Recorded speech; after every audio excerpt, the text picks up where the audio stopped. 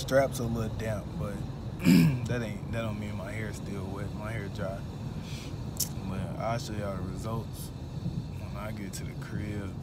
Right now, I'm gonna go pick up the parts for my car so my car stop doing that stupid shaking stuff they keep doing. I want my wheels to fall off.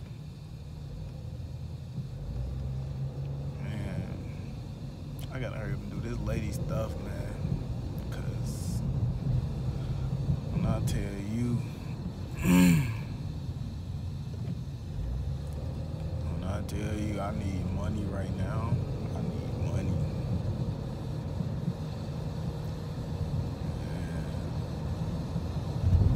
It's gonna be a two-part vlog. Hey, I be, every time I got these do rags and hoodie on, bro, I be looking like a motherfucking snack, nigga. uh, looking like a snack, it. Man, it's just amazing to me to know. I ain't as dark as you goofies try to portray me. Like y'all up and down, I'm stupid black, folks. Like it'd be funny. Y'all be trying to make it seem like I blend in with my jacket and shit. Shit ain't funny, bro. Like the dark skin jokes is old now. They so recycled that it's not funny no more. And it's always coming from the ugliest light skinned motherfuckers, bro. They just mad cause the dark skin is taking over. We we done took over half the population, man. It's too many of us. Y'all can't stop us now. Light skinned motherfuckers is rare now. Don't nobody want y'all cause y'all be in y'all feelings. Cause y'all know y'all rare. Shaking my head. Man, I need to hurry up. I gotta get back to the crib by a certain time.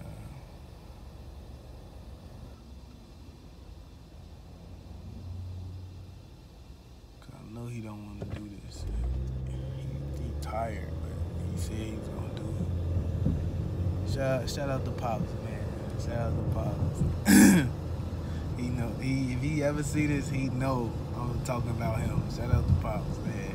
He always come through the clutch for being anything, bruh. For real, for real. Anything. Man, I always forget to cut that off. Yeah, yeah, he come through the clutch for me for anything, anything, bro. Like my car, he ain't even have to fix my car for the free. He ain't finna fix it for free. He do it all the time. That's why when I get where I'm going, I got my man. He said all he want. He said, hey man, all I, all I want. I ain't gonna even tell y'all what he said. I'm gonna just pop up on y'all with it like, damn, what I tell y'all. when I get where I need to go. Is bro serious right now? Oh, he lucky the ambulance came.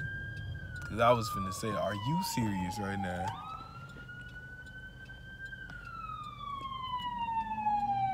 Really? Man. My prayers go out to whoever that is that need that ambulance, man. For real, for real. You gotta take advantage of every second you get in the day, every breath you take, you gotta take advantage of it to be different. Cause bro, I tell you, I watched the uh, Swag De Niro Vlad TV interview again. I ain't seen that in a minute since last year around this time. Well, it was in December, but it was still around this time. And man, I tell you, bro, like I woke up.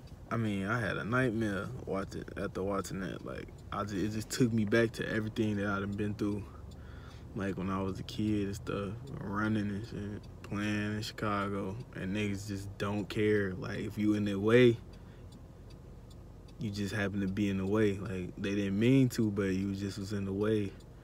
And I'm just glad to know that 10 years later, like, I'm still here. Anything could have happened that day. And like, man, bro, anything.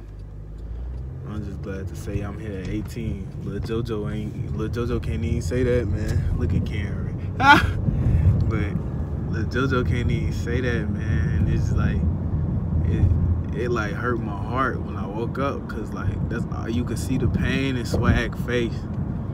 And to lose somebody it's just like like it feel like you just that energy that person have around you and it's gone it's like man it's not there. That's why my grandma died like man I that's I wasn't the same. Like that's when I became quiet and I stayed to myself because I could tell my grandma anything and she wouldn't say nothing to nobody. It's the only person I trusted. And now I tell somebody something somebody else know.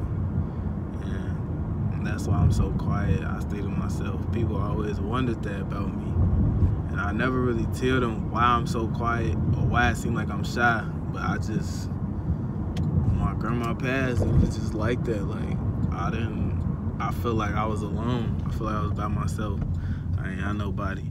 I mean, don't get me wrong, I still got my moms and stuff, but at the same time, she still tells stuff too. She wasn't like my grandma. If she was more like my grandma, maybe it'd be a different situation, but I wasn't, I, I'm just not, I don't mess with people. If I tell you don't say something to somebody, don't say nothing. Like I could tell my grandma something about my mama, my brother, my sister, anybody in the family. She won't say nothing, but she'll say she witnessed it and resolve, and she'll try to resolve the problem for me, and it'll get it'll get fixed. And I was always like that. Like I was a happy kid. Like I can't even lie to you. Like the day she died, I just didn't believe it. Like, I was in the I was in the crib.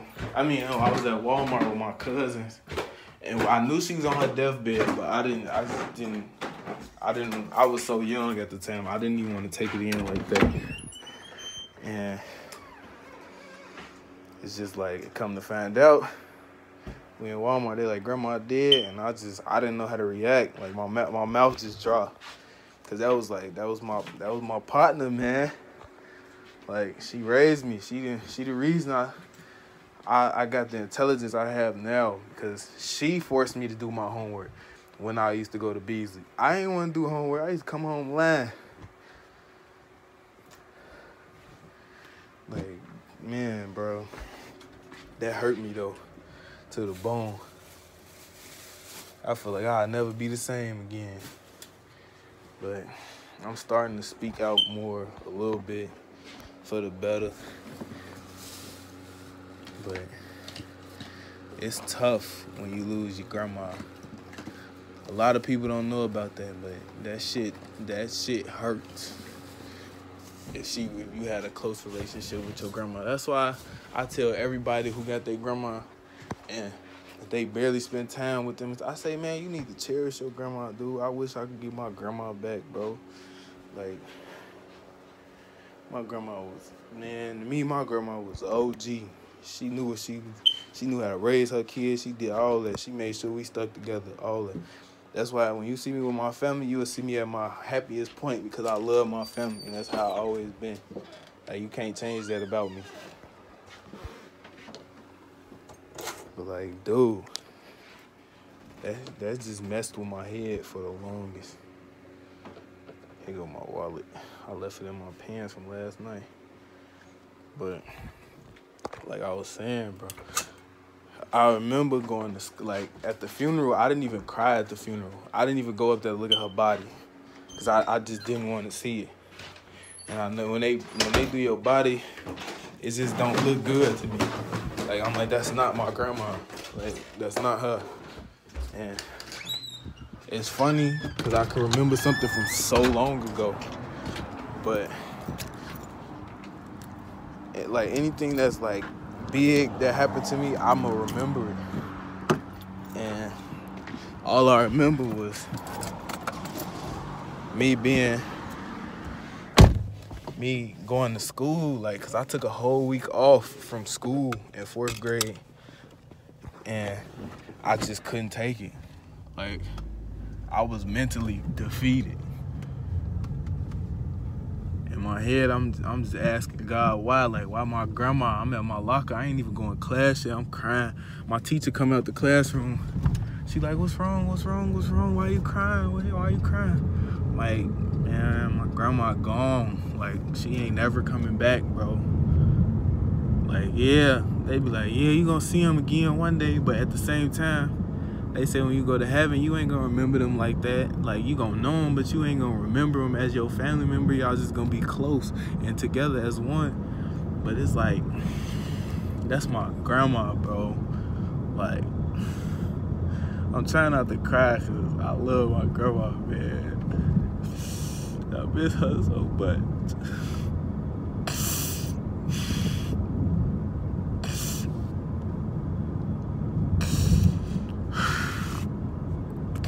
I know if my grandma was here, I wouldn't go through half the stuff I go through, man. It's hard. It's hard. I get up every day.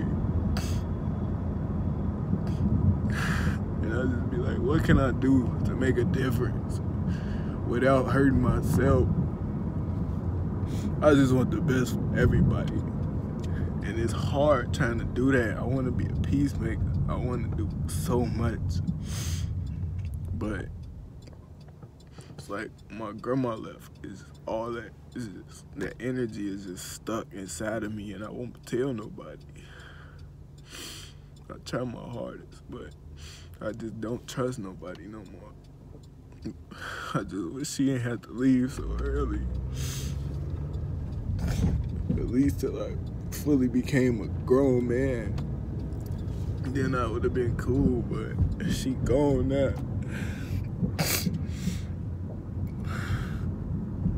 So I say cherish everybody in your family, whether you like them or not, because you don't know when they're going to be gone.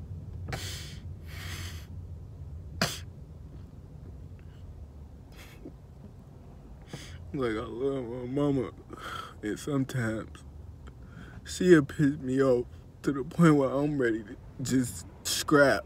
Like I don't even want to talk no more. But at the end of the day, it's my mama. Like, bro. But if it wasn't for my mama, I wouldn't even be here. Cause she could have easily just aborted me.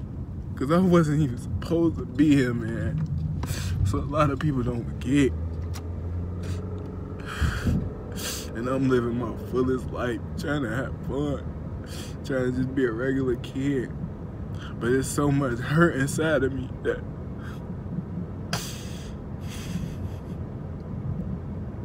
sometimes I don't even know who I am half the time. Like, I love basketball, but at the same time, it's like I feel like a lot of people is trying to force it on me, and that's not what I'm just about. Like I'm more than just basketball. People look at me as a meal ticket half the time, and it's starting to catch up with me, and I'm getting tired of it.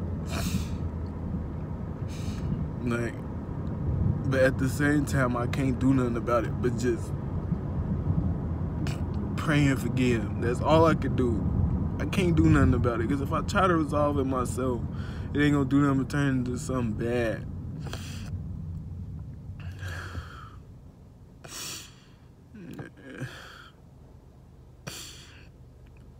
Just listen, my grandma was hip, man.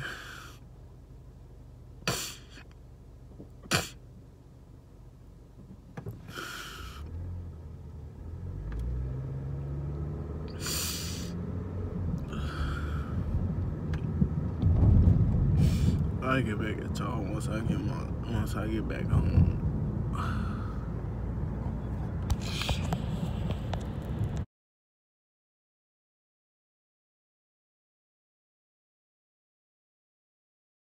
Hey, it's cool to look bummy and be a dumb dummy and disrespect your mommy. Have you forgot Who put you on this earth, huh? who brought you out And who loved you since your birth? Reward is a brainwashed kid going wild. Young little girls already have a child. Bad company.